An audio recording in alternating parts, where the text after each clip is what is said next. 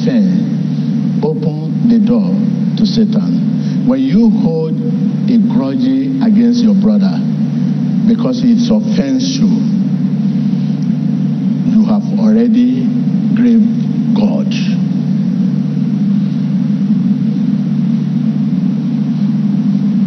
When you hold a grudge against your brother because he offends you, you have already grieved who?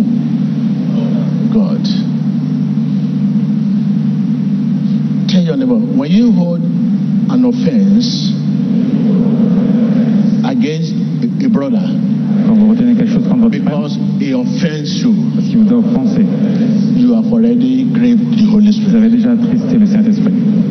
So it means you have to be very careful. If God says you should not hold offense, those who embarrass you, those who wrong against you, God said don't hold offense. You have to be very careful.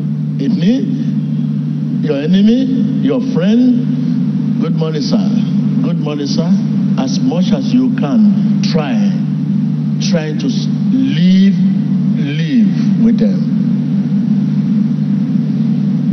because tomorrow is a mystery.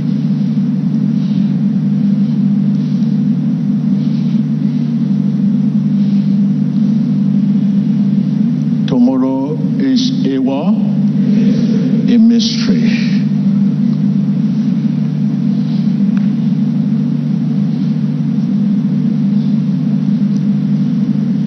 If if I did not know tomorrow is a mystery.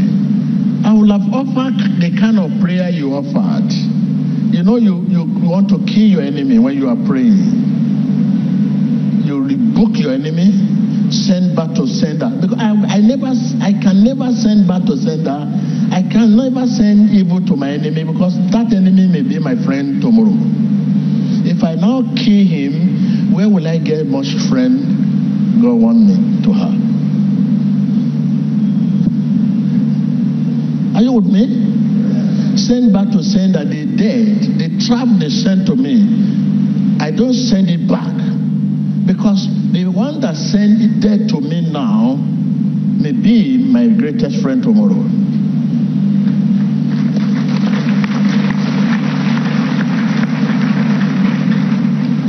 So if I now send the same dead, send it back to them. Okay, you are here today, and as 90% of us here are once said, over my dead body, I will I come to synagogue.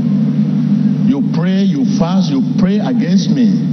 But I did not pray against you. That is why you are here today. If I prayed against you, prayer will have answer. It's either you kill or destroy me or I destroy you.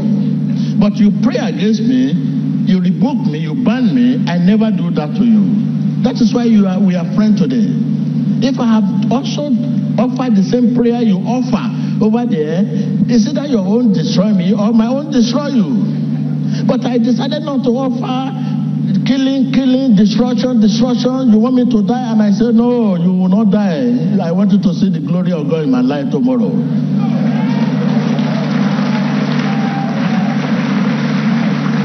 Yes. The Bible says, I will set a table before you in the presence of who? So if you have killed your enemy, how will your enemy see the table the Lord want to set before you?